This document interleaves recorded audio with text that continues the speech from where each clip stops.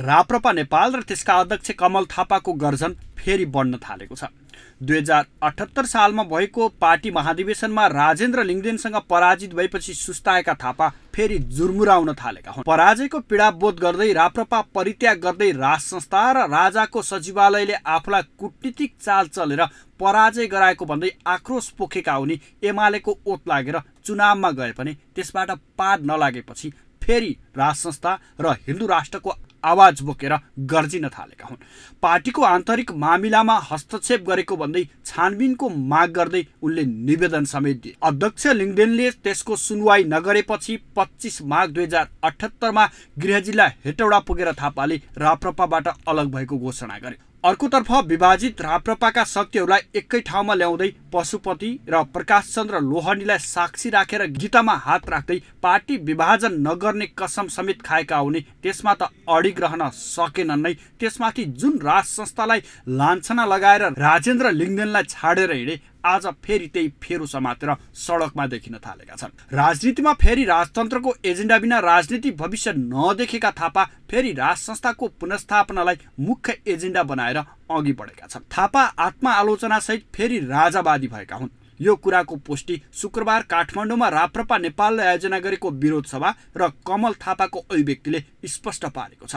आफ्नो पार्टीले तेस्रो जनआन्दोलनको तयारी थालेको बताएका उनले लोकतन्त्रको आवरणमा केवल केही सीमित राजनैतिक दलहरूले नेपालमा सिन्डिकेट तन्त्र कायम गरिरहेको आरोप लगाउँदै अब मुलुकमा राज संस्था सहितको हिन्दू राष्ट्र ल्याएरै छाड्ने उद्घोष गरे। हिन्दूहरू सधैँ चुप लागेर बस्छन् भन्ने नठान्न उनको चेतावनी नै थियो। तपाईँहरू नठान्नुहोस् कि सधैँ हिन्दूहरू हातमा दही बस्छन् भन्ने नठान्नुहोस्। अब जिस्काउन बन्द गर्नुहोस्। मन्दिरको अगाडि चर्च खोलेर कसलाई जिस्काउन खोजे दिन दहाडै गौ हत्या गरेर कसलाई तपाईँले जिस्काउन खोजेको मूर्ति विसर्जन गर्न जाँदा ढुङ्गा मुडा गरेर कसलाई जिस्काउन खोज्नु भएको यता गत बुधबार नै राप्रपाले पनि काठमाडौँमा विरोध सभाको आयोजना गरेको थियो। सो कार्यक्रमलाई सम्बोधन गर्दा अध्यक्ष लिङ्गदेन पनि थापाले जस्तै अभिव्यक्ति दिएका थिए। लिङ्गदेनले राज संस्थालाई मुलुकको अभिभावकीय संस्थाको रूपमा स्वीकार गर्न प्रमुख तीन दललाई आग्रह गर्दै यसो गर्न नसके अर्को आन्दोलनमा आफूहरू जाने चेतावनी दिएका थिए।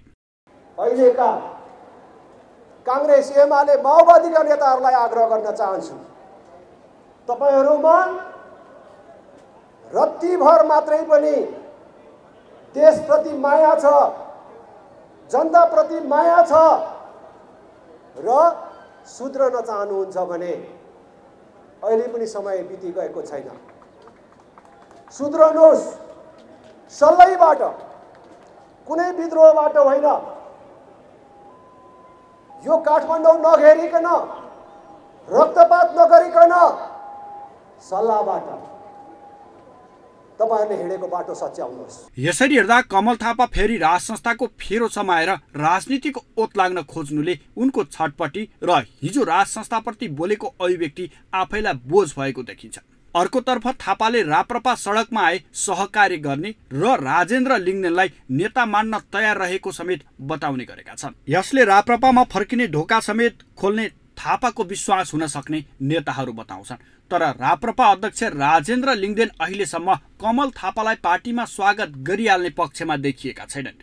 यसरी हेर्दा राजनीति नै सङ्कट उन्मुख भएपछिको भेल छोप्ने दाउमा थापाले फेरि राज संस्थाकै नारा र राप्रपाकै लय समाउन थालेको उनका गतिविधिले स्पष्ट देखाउँछ। पार्टी गठन गरे पनि राप्रपा नेपालले कहिले गति लिन सकेन। र उनी फेरि राज संस्थासहित लिङ्गदेनकै राप्रपाले बोकेको एजेन्डामा फर्किएर सडकबाट सङ्घर्ष चर्काउने मुड उनको यो अभिव्यक्ति र उनको बोलाइले स्पष्ट पार्छ। सेभेन स्टार फोकेका लागि राजनीतिक ब्युरो।